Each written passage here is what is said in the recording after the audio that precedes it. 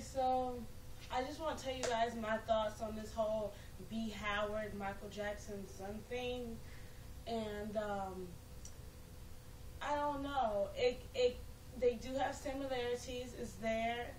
I mean, um, I've heard that um, he is his son, and then I have heard that he is not his son, and I have heard that the DNA testing that he was supposedly supposed to be doing was fake.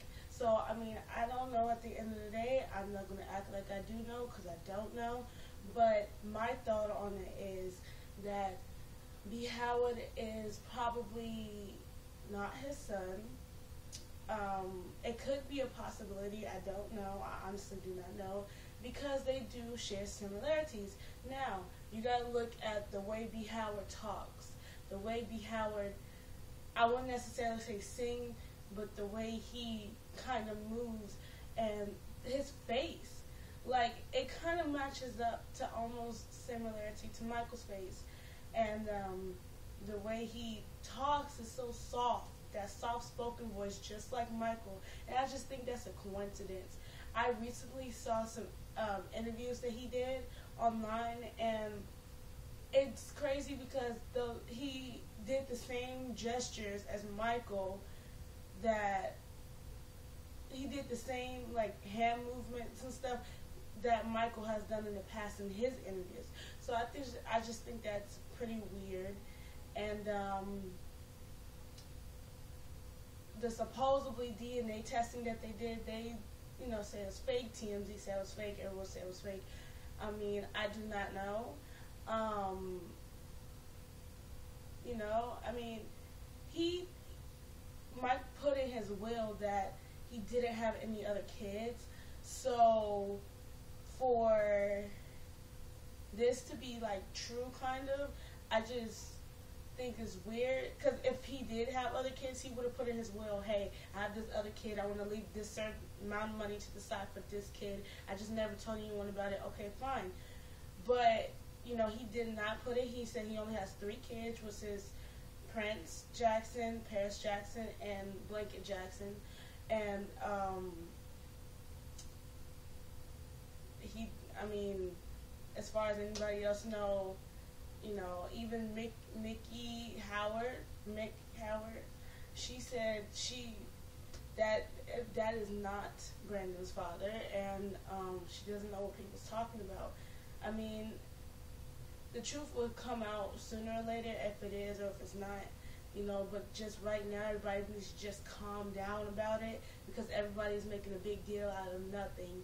Um, you need to just let the family handle it pretty much and let them deal with that and not so much try to jump on and say, well, this is, he claims to be his, the father, or no, that B. Howard claims to be the son and, you know, stuff like that. I, I just think it's crazy. It's five years after Michael's death people just need to let him rest, let him be, and they just need to just stop with all the, you know, assumptions. And another thing, the thing where they say he's alive, I think he's pretty much dead. I don't think he's alive at all. I mean, I can kind of see how people thought he was alive, you know, but I think everyone should just kind of back off, let him rest in peace, because it's kind of sad at the end of the day. Um, that people just won't give him, you know, and the family a peace of mind because they always want to bombard them with all this things, with all these things that's going on. And um, Michael was a very loving, caring, humble person, and I don't think he would ever, you know, want to um, lie to everyone about having a imagism whatever it's called, a child, a secret love child with someone. And, um, you know, it's crazy that in the DNA testing papers, it actually read that um, uh, um, Miki Howard uh, was, her name was Billy, And that's how they came up with the song Billie Jean. But then again, I got this other story but that there's this, this woman forgot the woman's name, but you have to look it up. Um, there's a woman named I think it was like Levon, Lee, Lee, it started with L or something like that. I don't know. But she is a psychopath, and she's been sending stuff to Michael saying, "Hey, you need to pay for my wedding dress. You need to do this. You need to do that." And Michael's like, "What?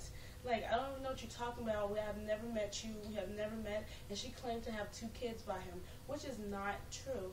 So, you know, he just kind of uh, got a restraining order against her, and she had to serve in prison for violation of that restraining order. So that's another thing. People saying that Billy is Miki Howard is not true. Um, this so-called how he came up with the song Billie Jean was was based on the psychopathic stalker he had in 1990, I think 92, no, 1982, 1982 or something like that. So, yeah, people just need to um, let him rest, leave him alone, and um, you can't change the world unless we change ourselves. So, yeah, everybody just needs to change the way how they how they act and just be their self and leave Michael Jackson alone. Let them rest. Okay.